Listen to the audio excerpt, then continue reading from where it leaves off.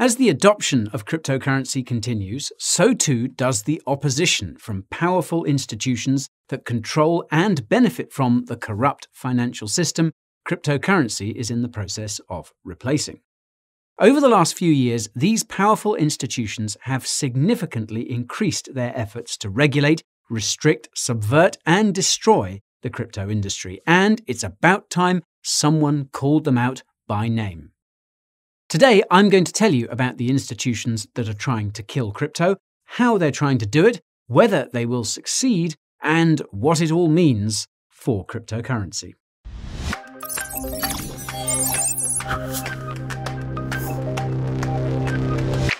If this is the first time you come my way, my name is Guy and I do crypto every day. The Coin Bureau is home to some of the highest quality crypto content your device can display. Coins, tokens, news, and reviews are just a few of the topics I convey. If you want to stay, subscribe to the channel and ping that notification bell without delay. Now that you know what I portray, let's see which anti crypto institutions are fighting in the financial fray. The first institution that's trying to kill crypto is the Bank for International Settlements, or BIS. This is the self described bank for central banks. The BIS is based in Basel, Switzerland, and it is owned by the 63 central banks that make up its membership. The BIS was founded way back in 1930 and is technically the oldest international financial institution in existence. What's interesting is that the BIS was supposed to be disbanded in 1944 as part of the Bretton Woods Conference. Still waiting. On its website, the BIS says this is because the financial elite at Bretton Woods didn't believe the BIS would play a useful role once the IMF and the World Bank had been established. However, a memoir by one of the economists who was actually present at the Bretton Woods conference revealed that the reason for the institution's intended dissolution was because the BIS had allegedly assisted the Nazis in taking gold and other assets from occupied countries. This was proved to be true in 2013 when the Bank of England declassified documents about how it helped the BIS and the Nazis take gold from Czechoslovakia. Now, despite this history, the BIS was never disbanded, thanks in part to influential economists like John Maynard Keynes. For context, Keynes is famous for pioneering so called demand side economics. Demand side economics is the theory that the demand for goods and services is fundamentally what causes economic growth and inflation, a theory popular with many central bankers. The more you know. Anyways, today the BIS has undertaken a similarly disturbing role, and that's to assist central banks to develop their respective central bank digital currencies or CBDCs. Now, if you've watched any of our videos about CBDCs, you'll know that they will give central banks the power to decide what you can buy, when you can buy it, where you can buy it, how much money you can spend, and even how much money you can save. In the words of BIS manager Agustin Carstens, quote, the central bank will have absolute control and, quote, will have the technology to enforce that control. It should come as no surprise then that the BIS is opposed to cryptocurrencies of all kinds, especially stablecoins. This is simply because cryptocurrency undermines the total control of currency that its associated central banks are explicitly trying to achieve with their CBDCs, which are themselves clearly direct competitors to stablecoins. So far, the BIS's anti crypto activities have been limited to reports about why cryptocurrency is bad and why CBDCs are better. It seems these reports are being conducted under the direction of Hyun Song Shin, the BIS's head of research. Now, if you watched our recent video about the BIS's vision for the future of finance, you'll know that nobody is buying what they're selling, and even the reporters the BIS invited to its recent press conference about the report were skeptical about the institution's CBDC push. Even so, there's no question that the BIS has an incredible amount of influence, especially since central bankers from around the world regularly meet at the BIS's headquarters in Basel to discuss what they're going to do next. You can see what that looks like using the link in the description. The second institution that's trying to kill crypto is the Financial Action Task Force, or FATF, an international organization based in Paris, France. It consists of 40 countries and dozens of other international organizations, including the IMF and World Bank. The FATF was founded in 1989 and it was initially established to combat money laundering around the world. Its mandate has since expanded to include anything that threatens the integrity of the financial system, and it achieves this mandate by issuing so called recommendations about the kinds of financial regulations that countries should implement.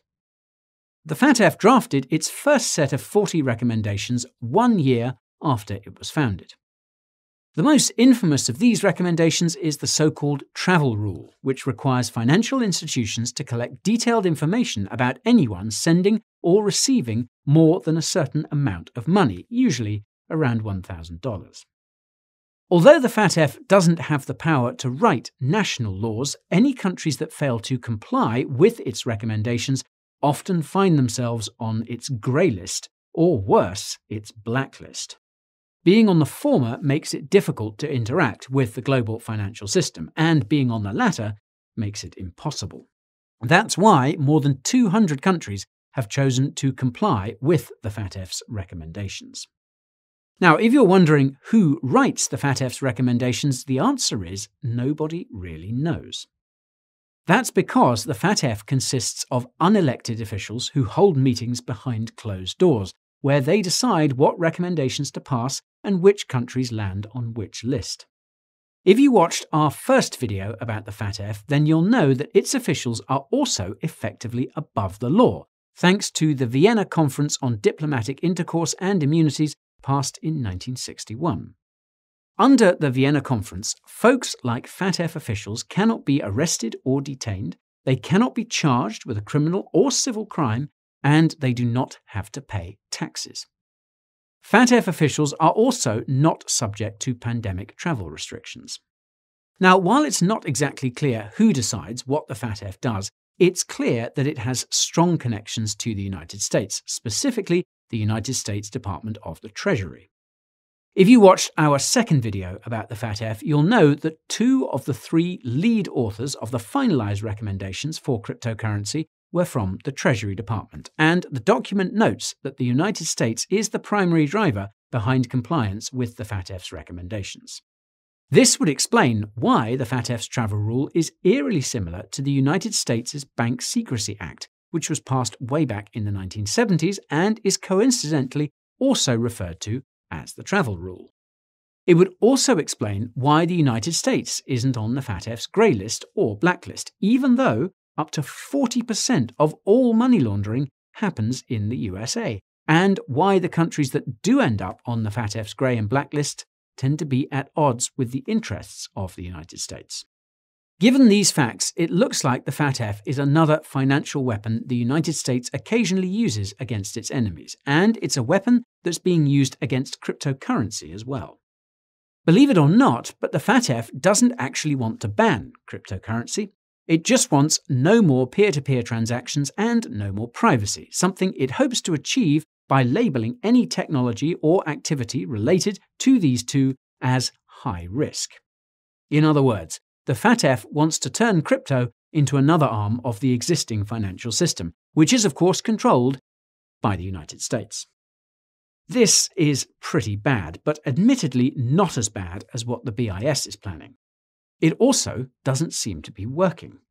If you watched our most recent video about the FATF, you'll know that countries are taking their sweet time complying with its crypto recommendations, and it looks like there's a few which might not impose the crypto regulations the FATF wants to see. This might have something to do with the fact that its recommendations don't work in combating illicit finance. The FATF's own statistics suggest it hasn't made a dent in dark money in over 30 years. Now, if this non compliance by countries continues, it will be difficult for the FATF to achieve its goal in time, because if crypto adoption reaches a tipping point, it will be impossible for politicians to pass the crypto regulations the FATF wants to see, because the people will vote against such politicians. It's also quite possible that by the time compliance starts to come, the financial system would have fragmented to such an extent that the FATF no longer has any influence. This fragmentation has been accelerated by the unprecedented sanctions against Russia, and you can learn more about those using the link in the description. I digress. The third institution that's trying to kill crypto is the IMF and the World Bank. The International Monetary Fund, or IMF, was created as part of the aforementioned Bretton Woods Agreement in 1944. For those who don't know, the Bretton Woods Agreement is where the world decided to make the US dollar the world's reserve currency. More accurately, it's where the world decided that the other currencies would be pegged to the US dollar at a fixed exchange rate, and the US dollar would in turn be backed by physical gold. The IMF's initial job was to ensure the exchange rates between other currencies and the US dollar remained stable. But after the US dollar officially stopped being backed by gold in 1971, the IMF turned its focus to financial stability around the world. The IMF achieves this financial stability by issuing loans to countries in crisis to ensure that the crisis the country is facing doesn't become an international crisis. These loans are known for including all sorts of terms and conditions that benefit certain institutions. I'll come back to those in a second. Whereas the IMF issues loans, the World Bank provides longer term financial and technical support to developing countries. Now, you can think of the World Bank as being the unofficial other half of the IMF, as it was also created as part of the Bretton Woods Conference. Not only that, but the IMF and World Bank headquarters are across the street from each other in Washington, D.C. Note that I'll just refer to the IMF from here on out as it's been much more vocal about cryptocurrency. Now, if all that info didn't make it clear enough, the IMF is firmly aligned with the interests of the United States, and that's simply because the USA has the most voting power of the IMF's 190 member countries. As far as I can tell, the IMF's hatred of cryptocurrency has mostly to do with BTC.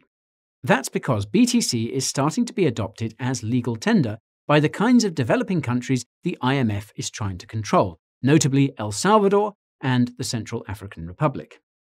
This is why the IMF included a clause in its debt deal with Argentina to discourage the adoption of cryptocurrency, something that I'm sure is going to become more common as more countries start adopting cryptocurrency and BTC in particular.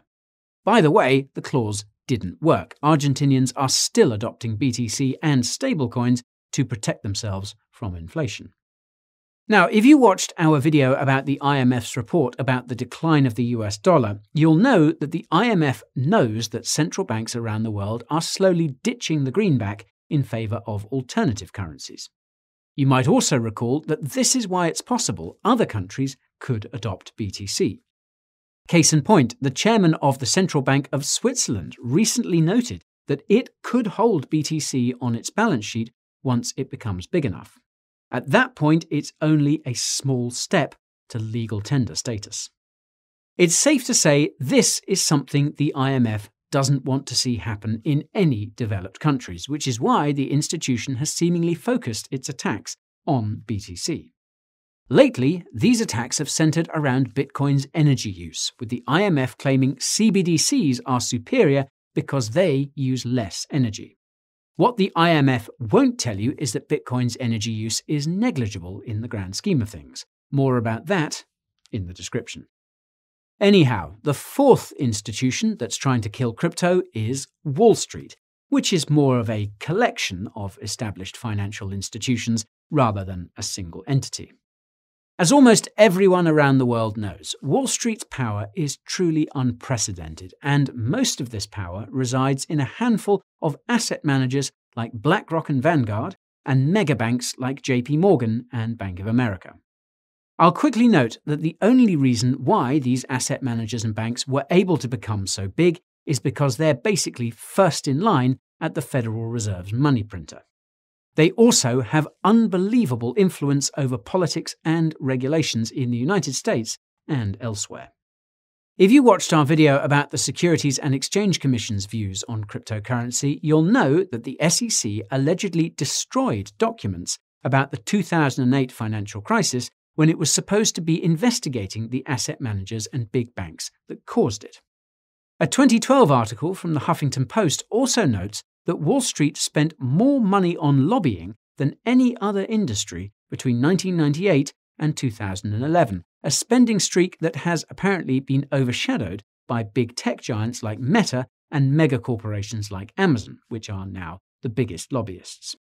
Heck, the IMF even published a paper in 2019 about the regulatory capture of bank lobbying and how it led to the global financial crisis. While the authors argued that these issues were resolved by regulations, I think it's clear to the average person that Wall Street has only become more powerful. Like the central banks at the BIS, the asset managers and banks on Wall Street do not want to be replaced by cryptocurrency, which is why most of them have historically been anti crypto. The thing is that the asset managers and banks on Wall Street also don't want to be replaced by central bank digital currencies either, and these are quickly becoming a bigger threat than crypto. If you watched our video about the BIS's report about what CBDCs will look like, you'll know that they would effectively cut commercial banks out of the equation. Even though the CBDC systems being proposed by central banks often include commercial banks as the front end, the BIS and its central banks have admitted in multiple reports that it would be next to impossible for commercial banks to remain profitable under such a system. What's more is that the roles asset managers and banks play could easily be filled by companies in the financial technology sector, such as Revolut and PayPal. It's even possible that crypto companies like ConsenSys could play this role. You heard it here first, folks. Now, this leaves only one option for the asset managers and banks, and that's to take control of the crypto industry and leverage its technology to ensure they remain profitable, and ideally leverage it to the point that they can continue to compete with fintech companies. How are asset managers and banks taking control of the crypto industry, you ask? Well, Besides investing heavily in centralized projects that have close ties to their own constituents, asset managers and banks are also taking control of crypto by forcing it to comply with their ESG agenda. If you watched our video about ESG, you'll know that it stands for environmental, social, and governance. And if you squint, you realize that it really stands for control, control, and control. The inability to control Bitcoin under this framework is ultimately why Wall Street dislikes proof of work. This is also why asset managers and big banks love proof of stake and why they are pushing for it. They have the capital they need to buy up the stake required to take control of almost any crypto project that uses proof of stake as its consensus mechanism. The same goes for token based governance structures. At that point, they will be able to implement whatever rules they see fit. And if everyone ends up using proof of stake cryptocurrencies, the asset managers and mega banks would finally have total control of the financial system, eliminating governance, politicians, regulations, and their own accountability. Now, that's not to say that proof of work is perfect or that proof of stake couldn't be improved, but it's important to be aware of the game being played and the powerful people who are sitting at the table. More about the pros and cons of proof of stake using the link in the description. The fifth and final institution that's trying to kill crypto is the World Economic Forum, or WEF, a non governmental organization, or NGO, based in Geneva, Switzerland. The WEF was founded by Klaus Schwab in 1971, and he has served as its executive chairman ever since. As per its website, the WEF's purpose is to, quote, shape global, regional, and industry agendas. The WEF has the power to do this because it consists of over 4,000 of the world's most powerful individuals and institutions, including all the ones I've mentioned in this video so far.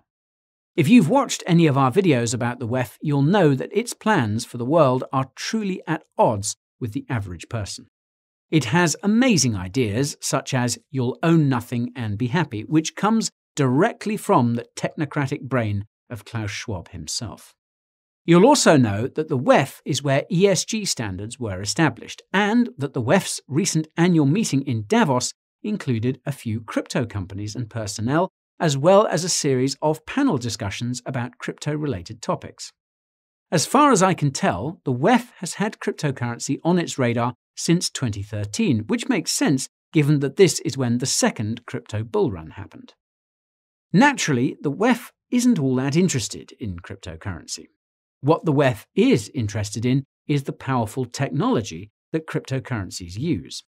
A historic example here is the WEF's Tipping Points report from 2015, which highlighted smart contracts as a point of interest. Note that this report was published shortly after Ethereum was created, and it even made a direct reference to the company that created Chainlink three years before it was created. A more recent example is this year's Davos meeting, where the metaverse was almost as big a topic as ESG, with multiple discussions and articles produced by the WEF. Speaking of which, I'm pretty sure the second metaverse discussion was the longest of any discussion at this year's Davos meeting. Obviously, what the WEF wants is to use technology like blockchain, smart contracts, and the metaverse to create the dystopia its constituents want. And unfortunately, it seems like some crypto projects and companies are on board with the WEF's vision, not naming names. Anywho, when it comes to blockchain, the WEF wants to use it for things like digital ID, social credit scores, tracking everything and everyone, tokenizing real world assets so that their ownership can be controlled, and engaging in, quote, stakeholder capitalism via proof of stake consensus mechanisms. If you're wondering who the stakeholders will be, Klaus has stated in many interviews and speeches that he created the WEF so that stakeholders could gather. Let that sink in.